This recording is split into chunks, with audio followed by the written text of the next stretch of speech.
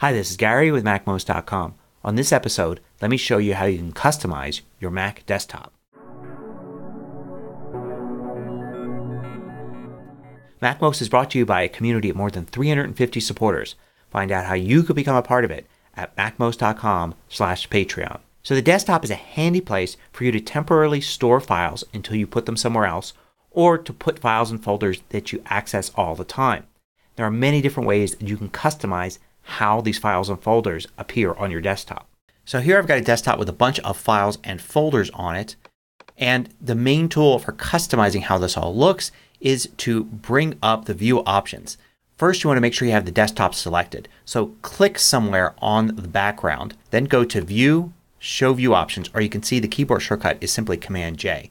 And this brings up this set of controls here. So the first option we'll look at is Sort By and you can see I have it set to None. And this means I can put these files and folders anywhere I want but if I'd rather have them automatically organized I can choose Sort By and choose one of these options. For instance Name will sort them alphabetically with the first one being in the upper right hand corner.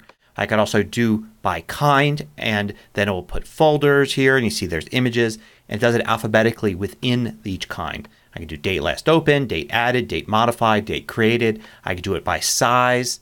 I could do it by any tags I've assigned to them. So I get to choose these options and as I do things like change the name or add a new file everything automatically reorders itself to fit this sort by option. So what about snap to grid? When I select that it's just like having it set to none except that as I drag these around they will fit into a grid location. So the grid is kind of spaced out here and I can change the grid spacing using this slider here.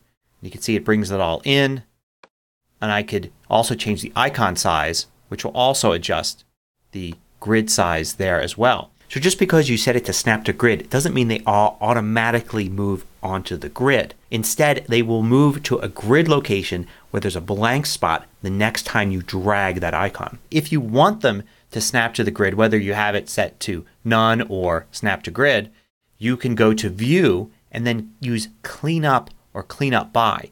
And clean up will just move everything so that it snaps to the grid to its closest location.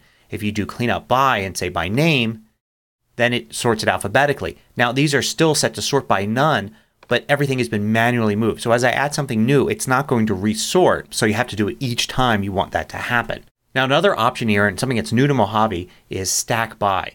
When you set that to something other than none it will actually create stacks. So for instance the first stack here you see is documents. If I click that it expands documents and I click it again it shrinks it and you can see some of these only have one item so they don't go into a, a, stack. There's no stack for presentations or spreadsheets but there is one for images. And you can see I can expand it and shrink it again. It's a way to keep your desktop kind of cleaner instead of having 50 files on your desktop maybe you only see 10 different icons. You could choose from a few different stacking options including by date for instance. So I can do say date modified and I get a stack for previous 30 days, a stack for March, a stack for different years. And you can also use sort by when you use stacks so they can be used in conjunction with each other. Now the desktop remembers any manual sorting you do. So if you have things set to none here and I move these around and reposition all these files if I then change the sort to sort by name you can see it snaps to name. But if I go to none it remembers the positions of everything.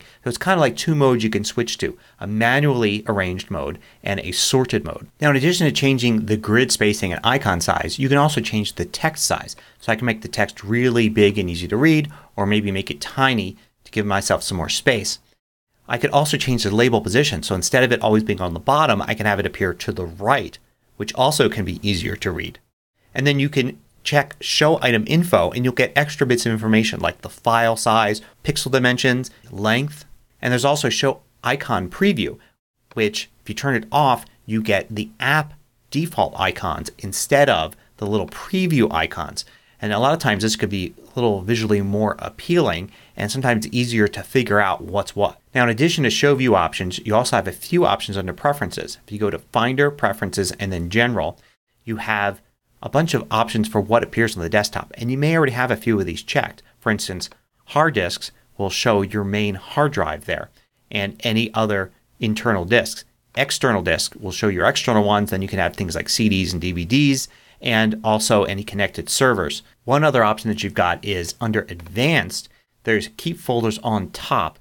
So if I were to go to View Options now and then I were to change the sort by to say Name notice that the folders appear alphabetically with everything else. But if I check off on desktop the folders appear first. It's easy to switch between a lot of these options so it's worth taking the time to try some of them out to see what might work for you best.